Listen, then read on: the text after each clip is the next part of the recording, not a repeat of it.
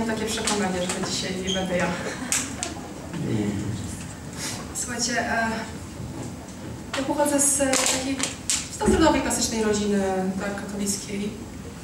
E, Natomiast jeśli chodzi o moje poznanie Boga, wiecie, ja poznałem Jezusa w wieku 13 lat i wcześniej byłam osobą, która chodziła w bardzo silnym odrzuceniu i nie umiała sobie poradzić w relacjach z ludźmi. To wynikało też po części z tego, że, że moi rodzice, jako osoby też nawrócone, mieli, miały pewien schemat tak, i działania i jakby to powielały. Nie, nie było moich rodziców za, za często w domu mocno pracowali i my się z siostrą nie wychowywałyśmy same i radziłyśmy sobie na tyle, na ile potrafiłyśmy. A ja miałam taki problem, że ja cały czas się czułam tą gorszą, tą najmłodszą siostrą, tą, która sprawia problemy, bo trzeba z nią zostać w domu, kiedy koleżanki wołają na podwórko i cały czas wyrastałam w takim przeświadczeniu, że cały czas są, przeze mnie są jakieś problemy, cały czas coś jest w domu nie tak przez to, że jestem. Ja w pewnym momencie doszłam do wniosku, że jestem takim piątym kołem wozu, że jestem w ogóle kompletnie niepotrzebny, bo sprawiam wszystkim problemy.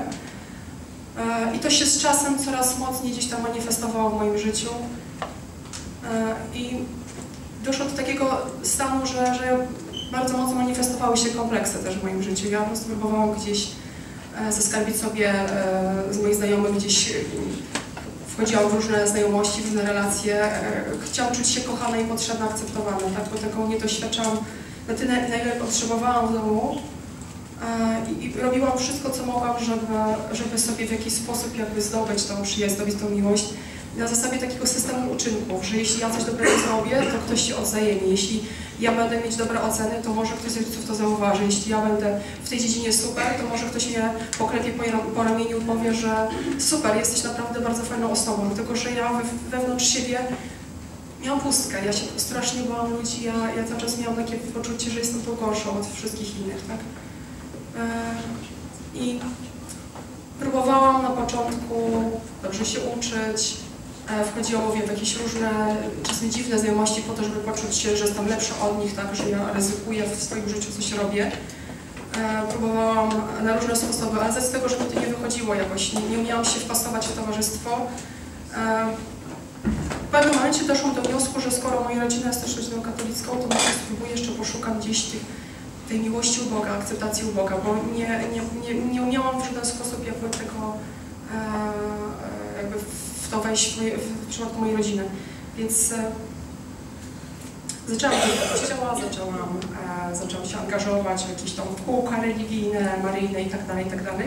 I wtedy doszłam do wniosku, że jeśli Bóg nie zaakceptuje, bo miałam takie poczucie, że ludzie nie akceptują, to wtedy ja poświęcę swoje życie, tak, ja pójdę do zakonu i tak dalej. Takie miałam wtedy myślenia w ogóle. Tylko, że wtedy zderzyłam się z religią, tak, nie, nie poznałam tam Boga, ale do- doświadczyłam religii i zrozumiałam, że nawet jeśli ten Bóg jest, bo gdzieś tam wierzyłam, że jest, tak, ale że On jest gdzieś daleko, jest niedostępny, to na pewno się nie zainteresuje moim życiem, tak, bo jest takie przeciętne, takie nijakie, skoro nie radzisz sobie w, w relacjach z innymi, to sorry, tak.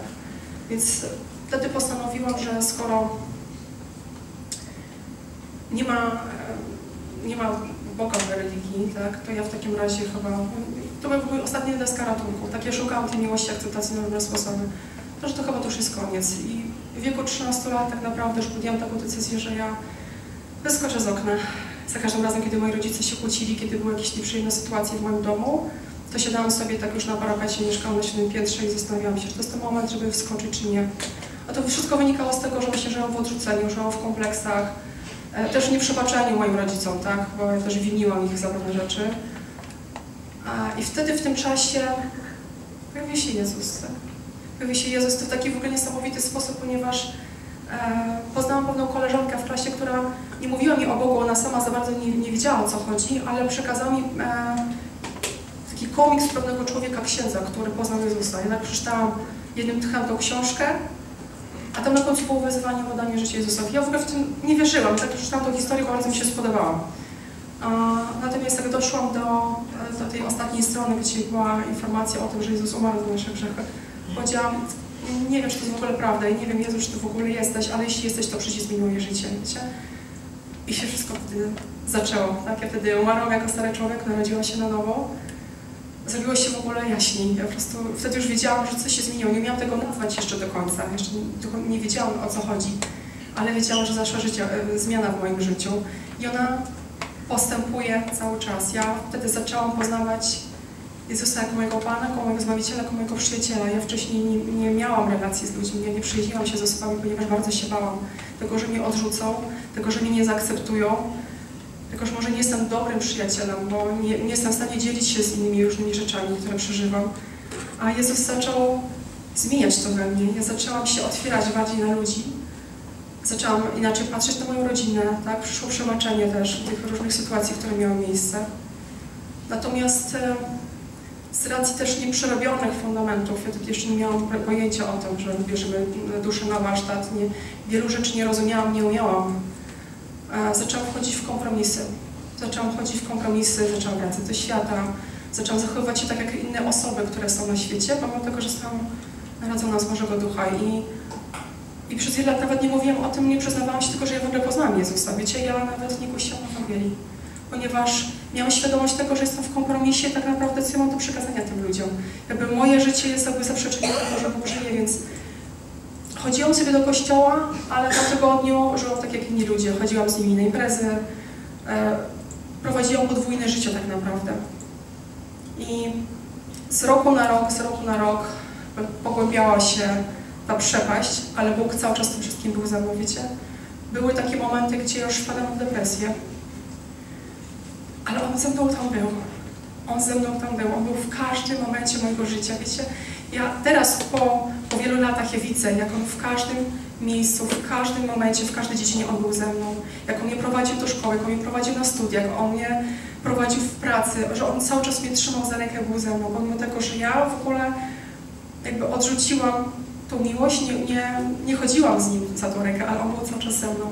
I tak naprawdę mam takie w ogóle poczucie, że ja się obudziłam od nocy w tym kościele. Wiecie, ja przez ja wiele lat przeczytałam poznanie Jezusa, ale, ale poznałam Go tak naprawdę po części tylko teoretycznie. Wiecie, ja doświadczam Go teraz praktycznie każdego dnia i to jest zupełnie co innego.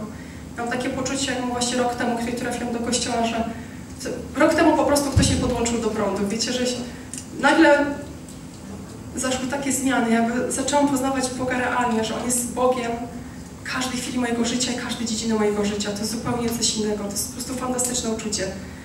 E, I mam takie poczucie, że te wszystkie wcześniejsze lata to po prostu było takie właśnie jakby sen. A teraz to dzieje się realnie, to jest, to jest prawdziwe. I teraz poznaję Go w ogóle jako nie tylko mojego Pana, jako mojego Zbawiciela, jako mojego Ojca. To jest niesamowite, tego, który mnie zaopatruje w każdej dziedzinie, tego, który wprowadza mnie w nowe rzeczy. Ja chodzę teraz w Jego odwadze, ja teraz chodzę w Jego miłości. Ja widzę, jak zmieniam się, jak zmieniają się relacje, jak to rozkwita i w ogóle jestem pod mega wrażeniem tego, co Bóg robi. A On jest Bogiem, który ma o wiele więcej i po prostu każdy dzień mnie zaskakuje i każdy dzień jest dla mnie przygodą.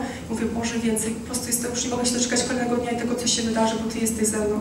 To jest niesamowite, jak chodzę, wiecie, w takim, jak wcześniej żyłam w takim systemie uczynków, że ja coś muszę, wtedy może ktoś. Jestem wolna i to jest tak fantastyczne uczucie, że ja nie muszę nic, bo On mnie kocha, On mnie zaakceptował w stu procentach. I że ja, ja po prostu żyję z wdzięczności, ja po prostu go kocham, tak? I po prostu tylko o to chodzi, po prostu o tę relację, o miłość. Nie chodzi o nic więcej, ja nic nie muszę, nie muszę spełnić żadnych uczynków. Ja nie muszę nic dla Niego robić, On zrobił wszystko dla mnie na krzyżu. Więc jestem mega wdzięczna. Bo jest cudownym Ojcem. Amen. Amen. Amen. Amen.